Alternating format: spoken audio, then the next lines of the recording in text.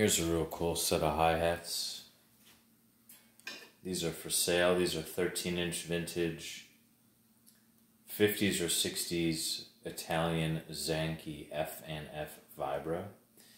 These had smaller center holes factory and these were professionally center holes were professionally enlarged by Andrew Green here in Chicago. He does exquisite work. Check him out.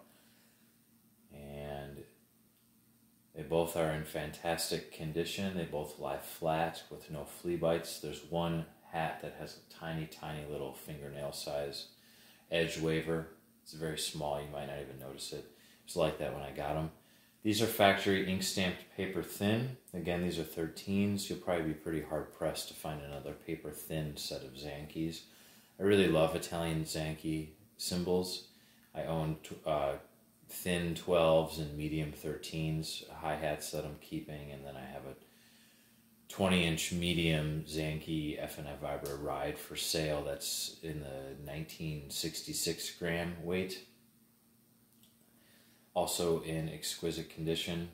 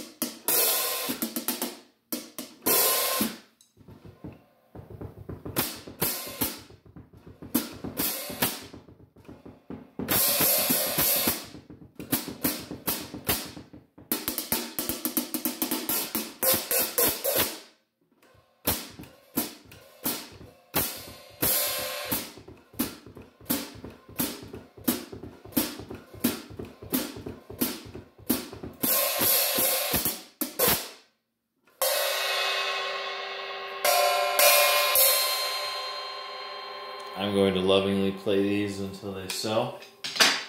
Show you the stamps here real quick.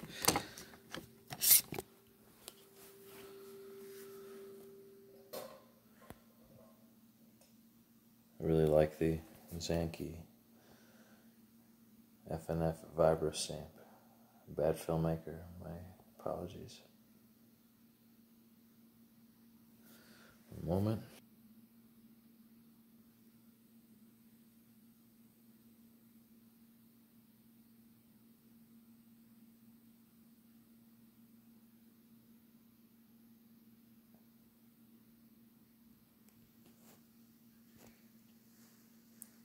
The red ink paper thin.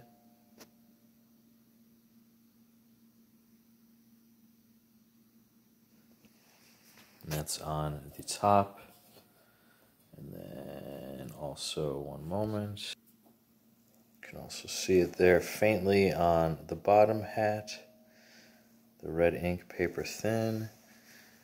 And also you can see some of the lathing lines and just the little bit of lathe chatter.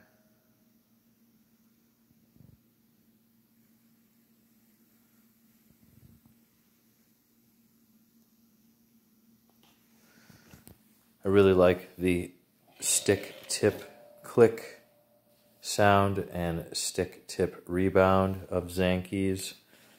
They don't invert. There's something magical about them. In sound and feel.